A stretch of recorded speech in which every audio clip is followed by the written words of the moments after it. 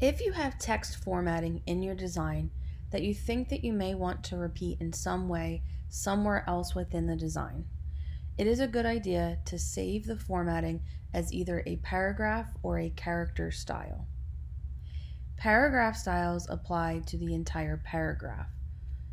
Go to the Type menu and at the very bottom, turn on your hidden characters. When you do this, you can see all of the non-printing hidden characters that represent where keystrokes have been made.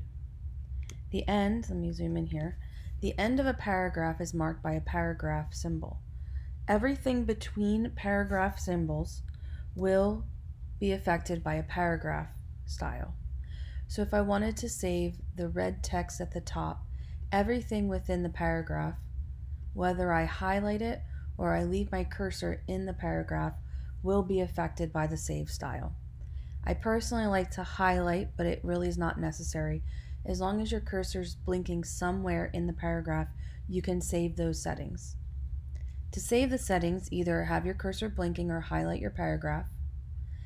Go to the Paragraph Styles panel, which you can open via the Window menu, Styles, and then Paragraph Styles.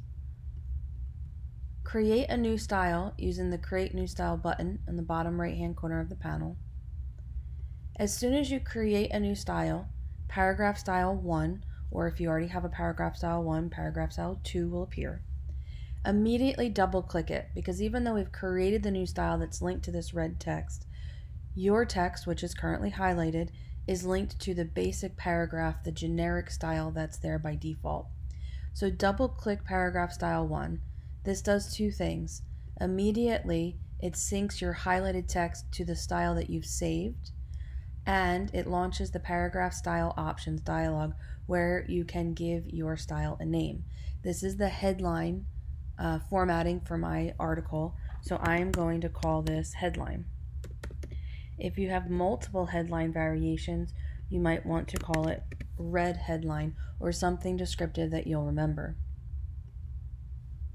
Now it's saved on the paragraph styles panel.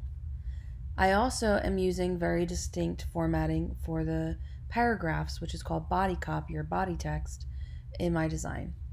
To save these settings, you need to have your cursor blinking in a paragraph or highlight a paragraph, or I could even highlight all of the paragraphs. But your cursor has to be blinking or you'll have to have text highlighted with those settings. Come back to the Paragraph Styles panel, hit the Create New Style button in the bottom right hand corner, immediately double click that new style. It syncs your paragraph to the style and launches the Paragraph Style Options dialog where you can give your style a name and select OK. And now those settings are saved so that you can link them to other areas of your text in the future.